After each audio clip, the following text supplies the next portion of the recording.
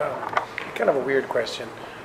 The efficiency of the nuclear power plant, like, I mean, for how much you put into it, on an average of all the nuclear power plants around, what is their efficiency? What is there, I'm sorry? Like, what's the efficiency of, a- of an average nuclear power plant? Since you guys oversee all the nuclear power plants, I figured you might have an average efficiency. Are you talking the, the, the thermal efficiency of a plant?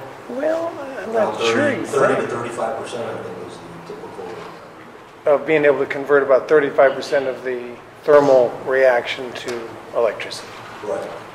Okay, that's, thank you, that just popped in my head. Thank you. No, that's correct. That's about right, okay. Yeah, roughly a third. I think when you look at, at pressurized water, boiling water reaction, reactors, the rule of thumb that I've always used is a third. So the highest efficiency is the generation of nuclear waste, because 100% of the waste is converted, or 100% of the fuel is converted to waste. So, so the, the, really what a nuclear power plant is, it, it, it's a generator of nuclear waste with a third waste product is called electricity. If you look at it in terms of efficiency, you know, 100% of that fuel is going to be turned into waste, only a third of it's going to be turned into electricity. So really electricity is the byproduct or a waste product of the creation of nuclear waste. And I don't understand how you guys can sit here and just look at me and think about all the nuclear waste that you're going to allow to be created.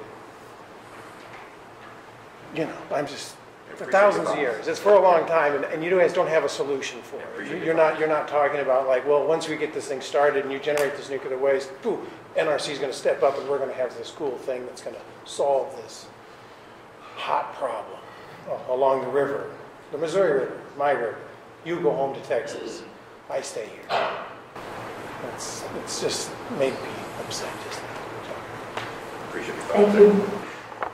I just found it interesting that you mentioned that it would take thousands of years for those karst formations to do anything, but you are making a decision to create nuclear waste for thousands of years.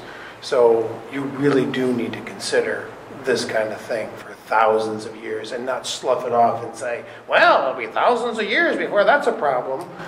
Well, this nuclear waste will be a problem for a thousand years. Just want to say that. Thank you.